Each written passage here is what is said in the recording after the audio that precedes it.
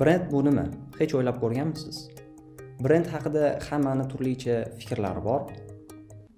Brend bu nima degan savolga aniq javob berish uchun birinchi brend nima emas degan savollarga javob berishimiz kerak. Brend bu logotip emas. Brend bu shrift emas. Brend bu qanaqadir rang emas. Brend bu ma'lum bir servis yoki mahsulotga nisbatan mijozni ongidagi hissiyot yoki o'y xayol deyishimiz mumkin. Prezentatsiyada ko'rib chiqamiz.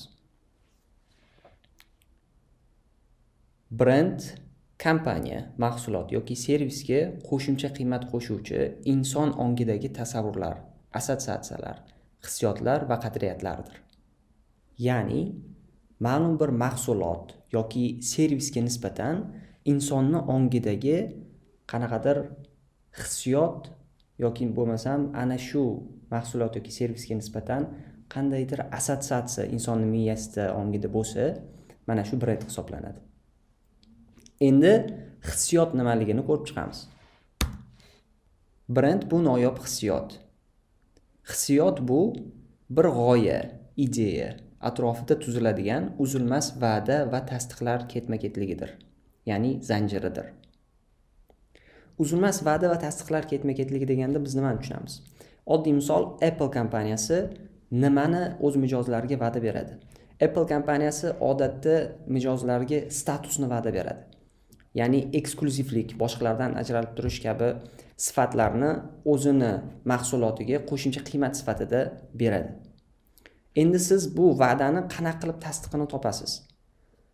Bu bo'lishi mumkin appleni veb saytiga kirganingizda appleni mahsulotlarini qo'lingizda ushlab ishlatib ko'rganingizda appleni o'zini brend magazinlariga kirganingizda bu ya'ni va'dani tasdiqini ko'rishingiz mumkin. Yoki appleni ishchilari bilan gaplashganingizda bu va'dani tasdiqini ko'rishingiz mumkin.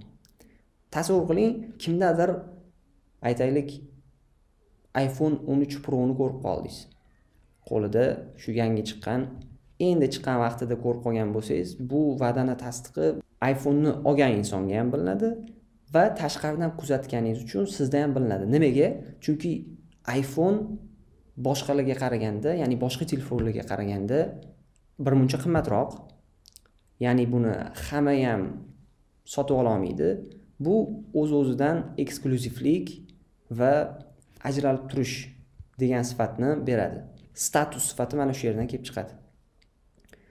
Endi siz agar bu telefonni oladigan bo'lsangiz qanaqadir ichingizda boshqalarga nisbatan ya'ni boshqa telefon ishlatganingizga nisbatan sizda qanaqadir status yoki nimadir o'y xayol hissiyot ichingizdan o'tadi.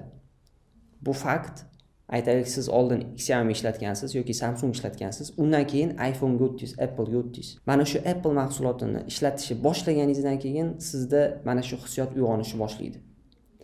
Ya'ni bu va'da va tasdiqlar ketma ketligini ta'minlab beradi. Xulosa qilib aytadigan bo'lsak brend bu hech qanaqa vizualga bog'liq narsa emas. Ya'ni vizual deganda hech qanaqa reklama yoki banner yoki logotip misol uchun reklamniy roliklar bular brend emas. Bular faqat brendni insonni ongidagi ya'ni boya gaplashib o'tgan hissiyotimizni uyg'otib berishga yordam beradigan narsalar. Shu narsani yaxshilab tushunib olishimiz kerak.